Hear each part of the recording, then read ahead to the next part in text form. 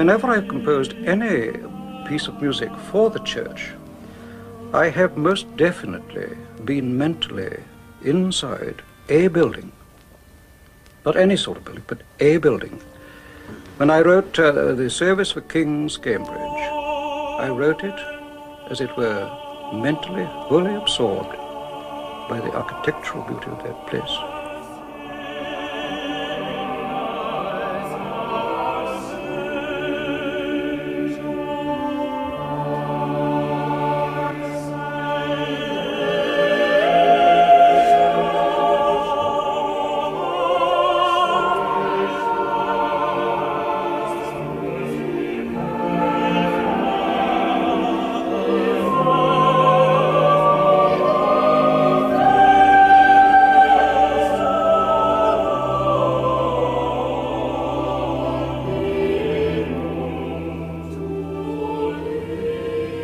Crucifer and choristers enter the antechapel, the nave in King's College Chapel here in Cambridge. A college founded by Henry VI, who ordained that in the family of kings there should always be 16 boys to sing as choristers with the grown men. The crucifer and choristers, joined now by the choral scholars, full undergraduate members of the college, and members too of one of the great choirs of the world.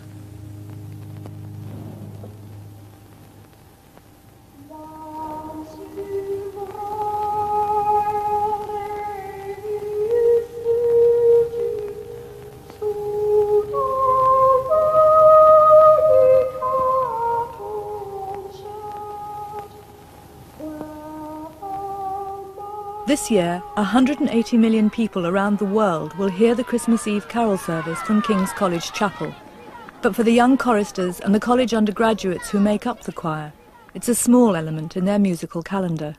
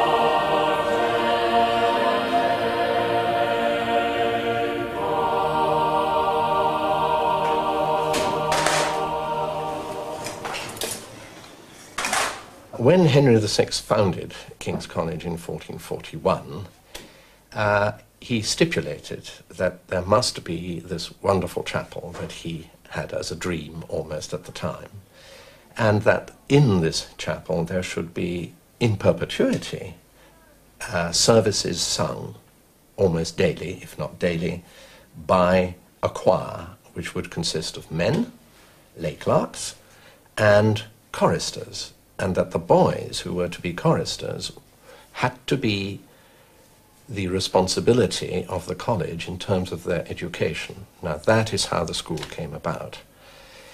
In 1878, it was set up where we are sitting now as a full school by the college on its own land.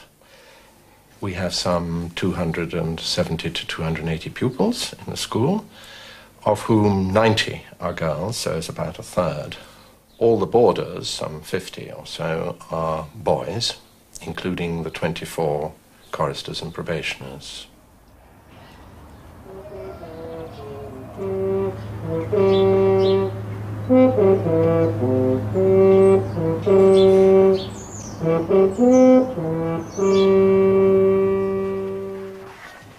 underneath everything else, we wear a white shirt with a starched collar, which is um, an Eton regulation collar. It's very stiff, and we usually choose the soft ones because.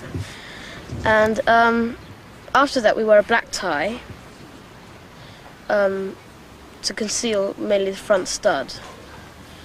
And over that, we have the waistcoat, oh, of course, black. Um, and we do up all the buttons but the, the um, bottom one out of tradition because we think um, that I think the story is that Henry VIII couldn't couldn't do it up, so we just don't. And uh, uh, we wear sort of striped trousers. I mean, there are lots of different styles we have because we've changed them over the years, so they're, they're slightly different, to all of them. And over that, we wear a jacket. Um, I don't know quite why. It's a sort of mini version of tails without the tails. And on top of that, of course, the gown, which isn't much special. And last of all, we have the sort of all famous top hat, which is, I mean, they're all different. Some of them are ruined, half, and so it looks quite odd actually. Michael, hat. It's quite funny actually because you get some tourists pointing at you. They're normally not French though because the French ones usually laugh their heads because you get a lot of French students over here at this time. They find it very funny, so we just look at them. And then there are lots of tourists sort of taking pictures. But I think what we find more odd is when we're just in any old clothes, you know, jeans and things, um, nobody looks at you. You just get that funny sensation because you're so used to people looking at you that nobody does. Every afternoon, the boys walk the quarter mile from the school to the chapel to sing evensong. This is the reason for the choir's existence, and it's at the heart of their daily routine. It's quite intense, a lot more intense than the average school life, because whereas most other boarders and day pupils at the, at the end of school at 4.15 will be able to go home or have free time to work, whereas the choristers before the end of school have to go to chapel, and so we don't get the time that they will have to do prep. Doing services every day um, was almost in a way like doing a, a job, I suppose. Um, but all the sort of extra things that happen, like staying on and singing at Christmas and going on tours and doing recordings and things like that, um, could be great fun. And in some of the tours, you got sort of treated like sort of pop stars. I'm the housemaster, which means I'm responsible for all the boarders. I teach divinity, religious, which is religious studies within the school. Um, I'm also what's called the chorister's tutor, which means I have an umbrella responsibility over the chorister's academic, pastoral, social well-being. I don't think the choristers are very different from the other boarders. They have the same sort of goals. Um, obviously, most of them are moving on um, to senior independent schools when they leave. But they do have certain other realms of experience to offer. Um, there's the whole the self-discipline which they achieve, um, which a lot of other children that simply don't have that degree of self-discipline. They have also the whole question of the spiritual realm, which they encounter, which other children simply would never be in touch with in the same sort of sense. The school really plays a supportive role um, in, and helps to make sense of what they do every day in the chapel. Because you know sometimes there isn't time for them to make a lot of sense um, when you have to be so busy and committed musically, you can't be thinking through what everything means. I think the voluntary is on.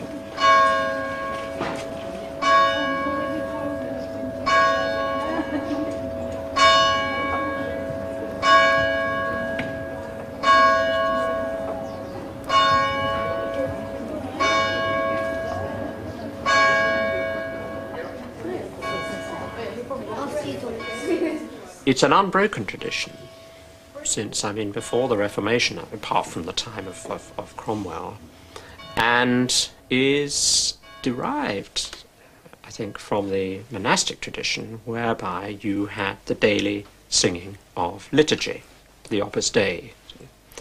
And St. Augustine it was who said, Qui cantat bis orat, whoever sings prays twice. And so that there is this idea that by uh, bringing the liturgy to life in a musical way, that you are heightening the experience. It's curious that at a time when society is becoming more secular, that cathedral music, to put it in quotes, is, I reckon, better known than it's ever been before.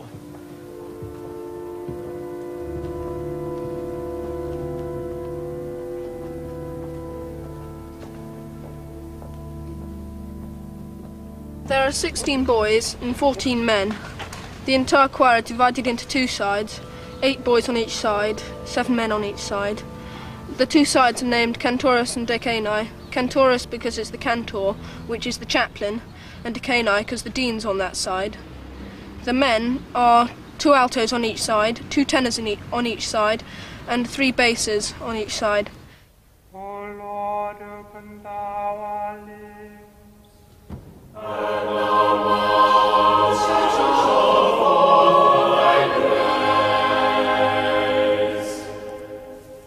O God, make speed to save us. The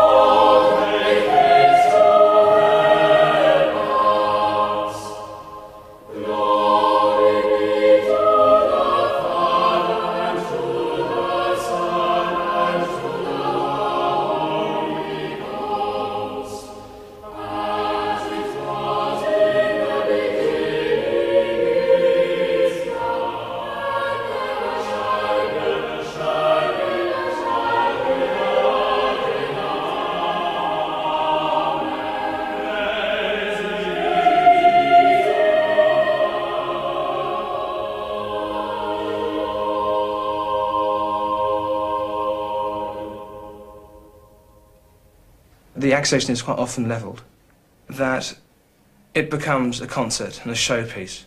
Stephen tries very hard not to make it a, a performance and tr- try and make it an act of worship. Um, for instance, he won't conduct from the middle in a service, he will move to the side so that he's not obstructing things and he's not centre stage. Um, I don't think he would want us to be centre stage either, but the music to be the important thing. Um, I know he feels very strongly about that. And there are other uh, not all the choral scholars are religious, but quite a few of us are, to some degree at least. Six or seven will take communion at Eucharist generally. And it's important not to let the music become the only thing because it does become a concert.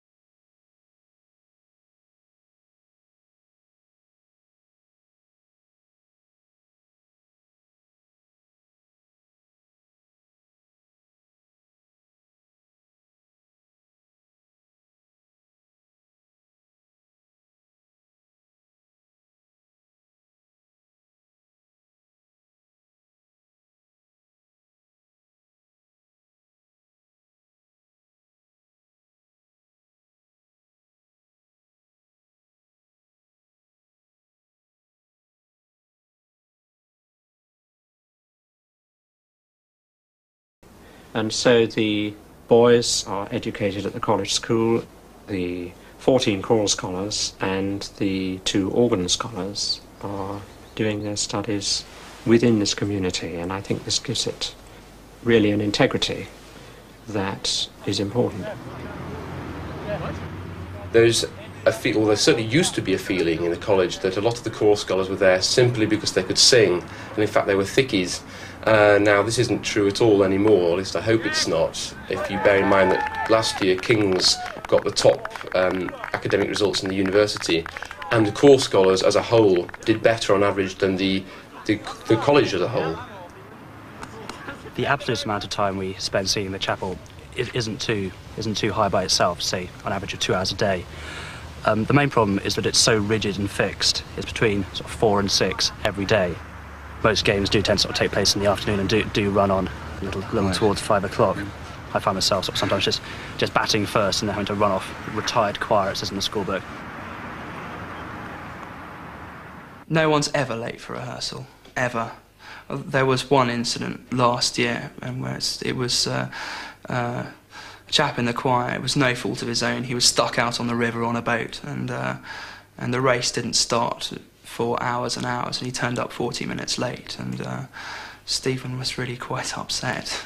Have you ever been late? No, I've been on time. right, well, let's move on to verse 3 now. I think if Michael and Robert would just come, to the come and stand out in front of the piano. Amplius lava me. Okay? So here we are. Three, four.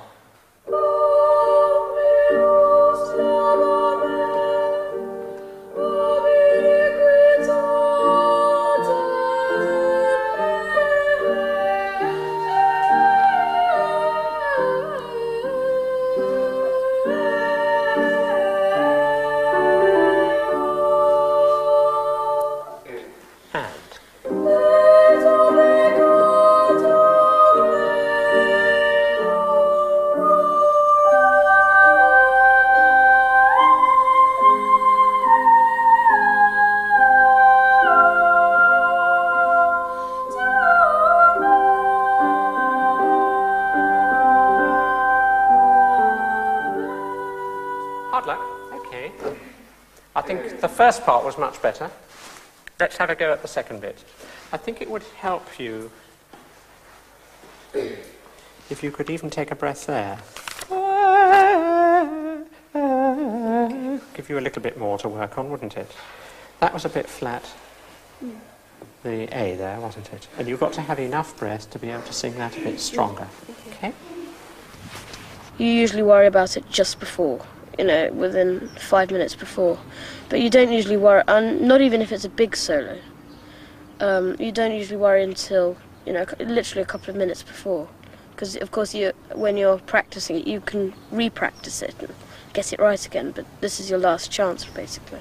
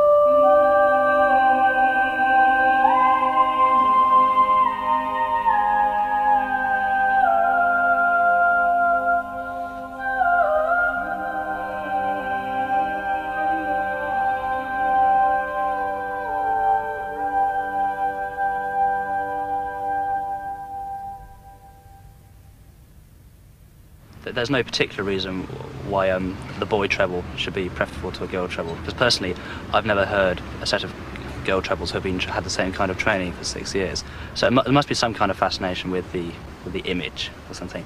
And just maybe there's something to do with the fact that a treble voice is only temporary. Um, his voice is going to change very shortly. It's sort of precious for that reason. And then kind of called really loudly. And even when they were very close, called loudly. And they got out of the way at the last minute and they bumped into each other. Now then, just hang back. Don't sit on the seats because we don't know where we're going to be yet. Uh, no, no, don't go there, please. Come over this way. Who won your game of Monopoly? I hope to be in the choir at my next school, but obviously it's not quite the same sort of thing as here. But I don't think I'll I'll be in the choir um, when I first go, um, because perhaps my voice might break quite soon. I know it's unwise to um, sing while your voice is going through the change from treble to bass or tenor. I suppose there's no point worrying about it because it's quite inevitable. In a way, I suppose a bit like death. You know it's going to happen. everybody. I left the choir at Easter because my voice was going. It was okay before the Easter holidays. And I was actually ill over Easter. And I came back on Easter Sunday and I couldn't sing very well. And I just couldn't really sing. What did it feel like? Strangely. Annoying sometimes. Because you're trying, but it didn't come. Personally, I don't particularly want it to break because um, I like singing treble. I mean, it's nice and sort of on top, basically. So I- I'm, I personally rather to be a long way away from there. So I'd, I'd like to be able to sing in my next school's choir. Yeah. Do you have any inkling at all of when it might happen? None at all, no. It could be any time. Or about what kind of voice you might have afterwards? Um, no, I don't. Some people do. Some people, um, the person who comes and teaches us um, how to sing, um, he sometimes can tell some people definitely what they're going to be. Like, um, I think he thought Robert would be a tenor. And I think that's. I don't know what I'm going to be. I remember one time I was listening to a tape with my father, and uh, they're really nice, high, floating top B flats, really high notes, and uh, it was a recording I'd done as a treble. And I just started crying because, you know, it's never going to be as easy as that. It's always going to be hard work from now on in a way that the voice production, at, at least, wasn't when I was a treble. And that's a loss, and you've got to come to terms with that. And uh, I wonder how much some of the younger ones realise that now. As the choir assembles for the end of term photo, the choristers face a time of uncertainty. For the choral scholars, that's in the past. They face the hard work of training their adult voices.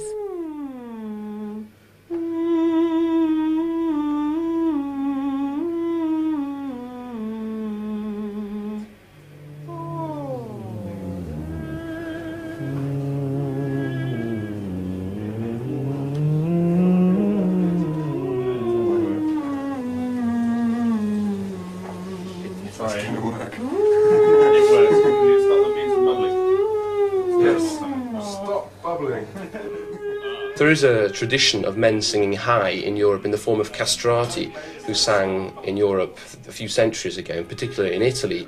Um, of course, the similarities between us and them stop very soon. Um, but therefore, there was a tradition, and we don't know whether the countertenors in our form um, took off because of the disappearance of castrati or, or what. We, don't, we actually don't know. Let's just take this from the bottom of two, could we please? We praise thee. praise, we praise, we praise thee, O God. Uh, the interesting thing about the alto or the countertenor in the English cathedral choirs is that this again is an unbroken tradition. Even though the countertenor was not heard in the concert hall for many years, nevertheless they went on being in cathedral choirs. What we do know is that in the 19th century it seemed to go out of fashion, whatever tradition there was, and we don't hear anything about them until this century, where there was a chap called Alfred Deller, um, who was very popular um, and took the world by storm with this new sound, which had been totally forgotten.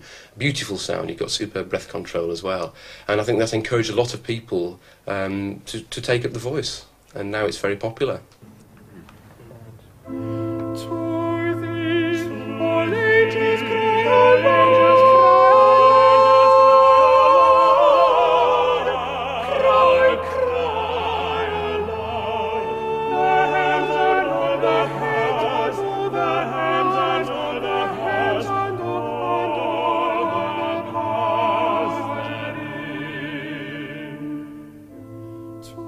The acoustics of the chapel do obviously affect the sound of any music made in there.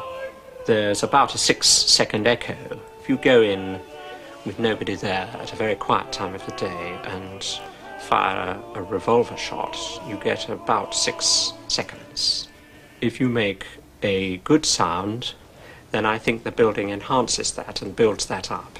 At the same time, if you make a sound of not good quality, simply because the echo is amplifying in this and making it go on for a long time, then uh, in that sense the building is being critical.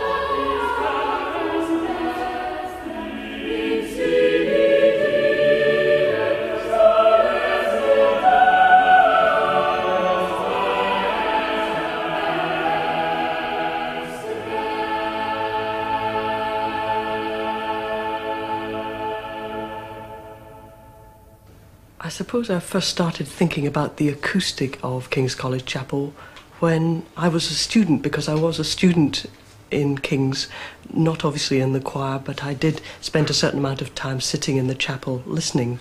And um, my memory of that is, firstly, of the tallness of the chapel. It's so high uh, compared to the length of the bit you sit in, and this already gives me an impression of the sound as, as having a very great height uh, and particularly a brightness, which I think also comes from the particular way that the light comes through the beautiful stained glass, and the fact that the stone is seems to me almost white, very bright anyway. So when I came to write this piece, Illuminare Jerusalem, I think that was the first impression I had of a very bright, high tone from the boys. And I decided to make that really the main feature of the piece, and to do that by offsetting it with very deep sounds, very low sounds for the basses, and very, very low sounds from the organ, which are really so low that you don't perceive them as notes, more as just a wobble in the air.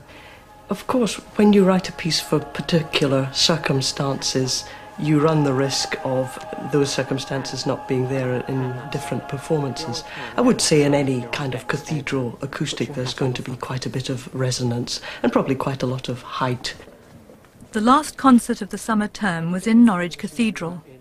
The choir sang works written specially for kings, including several commissioned by Stephen Cleobury from contemporary composers like John Tavener, Arvo Pärt, and Judith Weir. Well, she's different to most other composers. Um, not that I don't like it, I do actually quite like the two pieces that she's written for kings, but they're plain odd. I mean, they're very discordant, but they're interesting to sing and they're quite good fun. Jerusalem, rejoice for joy. Jesus, the stand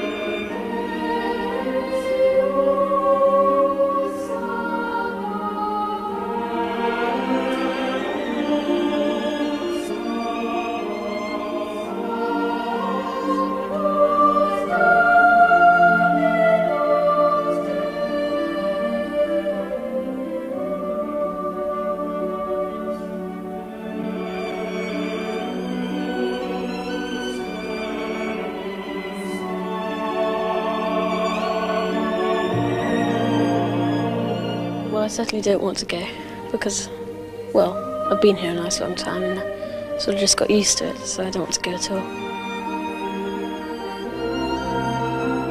I'm gonna I'm gonna miss the school a lot. I spent a lot of time in the choir. I'm gonna miss them the most.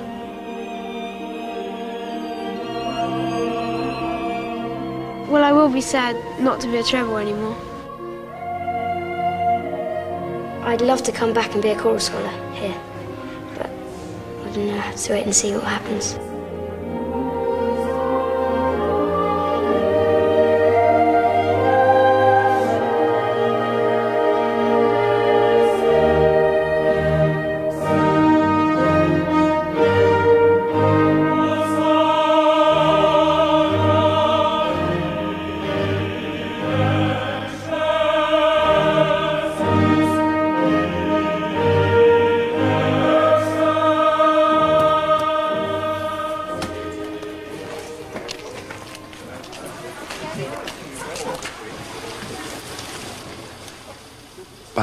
Choosing boys for a choir with a particular quality of voice, of reasonable academic standard, with good stamina and a sparkle to them, we are indeed picking some very special children. I don't deny that a charge of elitism can be levelled at the school, but then if you really think about it, anybody who is really good at something is a member of an elite. And I- I must stress that all choristers from whatever background receive a very generous scholarship from the college of two thirds of the fees. And if parents cannot afford the difference, we do our utmost to bridge the gap. Hi, I'm Magnus, Thomas's. Um, Hello. And I'm Thomas's mummy. Okay, sure. Right, so he's on the top bunk? Yeah.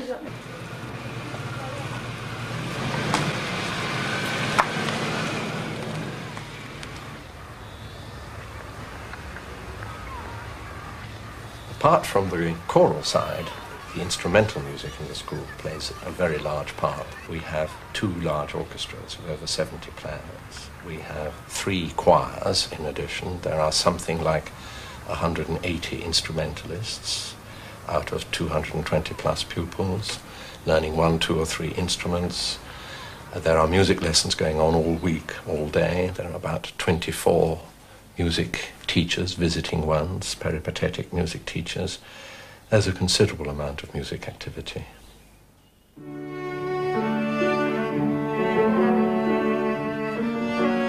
Well, what, what happens is we get up in the morning, wash, and then we go down for breakfast. And then after that, we have music practice, and I have to play my um, piano first practice and cello second practices, and there are bells in the middle to tell you when to go to your next practices.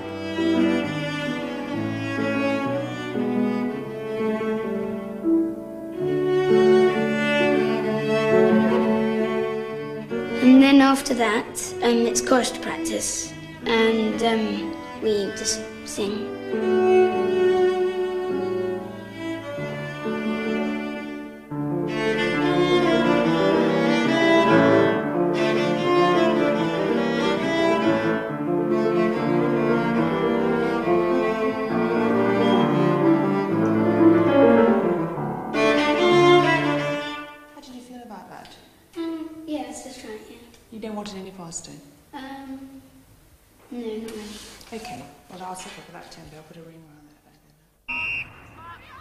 After that, we um, start lessons.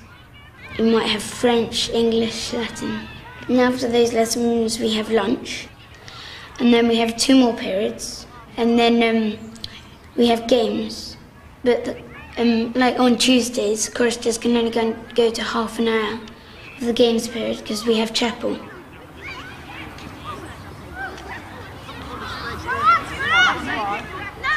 Well, um, I'm 10 years old and I've just become a chorister. Um, since the beginning of Easter, I've been coming down to chapel with the choristers as what's called a senior probationer. Um, you're called a probationer when you come, you arrive first at this school, but you're not actually a chorister, but you're going to be. Um, and then when you become a senior probationer, you start just going down to chapel with the choristers. Um, and like being as a reserve in case one of them's ill. But I was quite lucky in my case because um, poor Ben Dawson was, um, he had a sore th- throat for quite a while. He had something wrong with him. So I got to sing a lot of the services. At the end of this term, it's nine lessons and carols. Um, Is that fun? Yeah, it is. What happens? Well, we have to prepare um, of about four weeks before three weeks. And we sort of do um, little bits out of the um, hundred, hundred carols for choirs. Yeah. The students Various- like various carols. Ding Dong Merrily on High and things. I'm quite looking forward to it because it'll be my first Yeah. Christmas. I wasn't here last year. Right, Ding Dong Merrily then, number 18B. We'll take this upper semitone in B. Okay? And two, and. I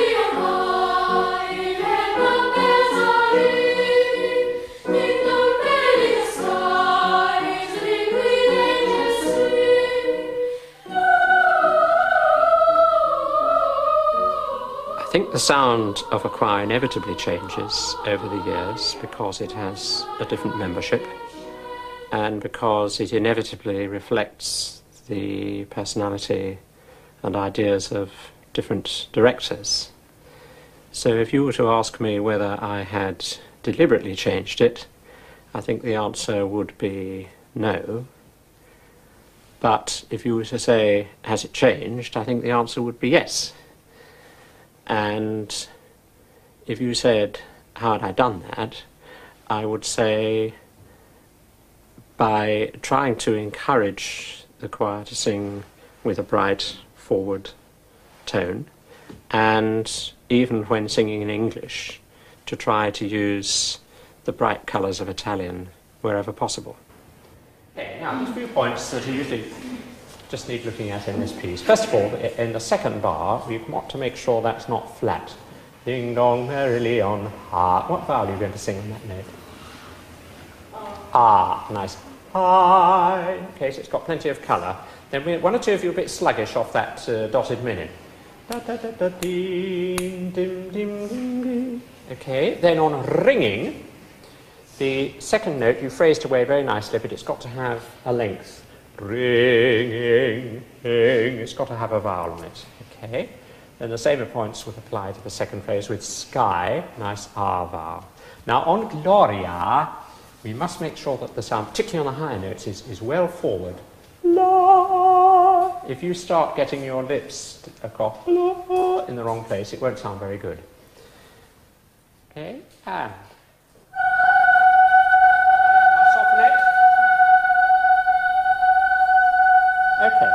Now the G and the L are a bit of a nuisance in this context. La, la. We don't want them to spoil that note, do we? So we just sing law this time. One, two. That's it. That's what we get after Hosanna in excelsis. Want that nice little soft sound. Okay, Hosanna. One and two. Hosanna in excelsis.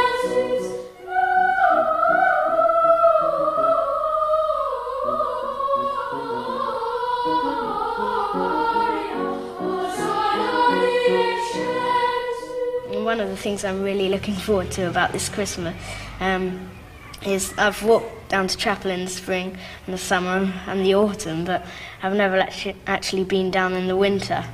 This year I hope it's going to be a snowy Christmas, so when we're walking down to chapel it'll be snowing and we'll be able to play with our sledges and everything. The Christmas Eve service of nine lessons and carols began in 1918, and the choir has achieved an international reputation through broadcasts on radio and television.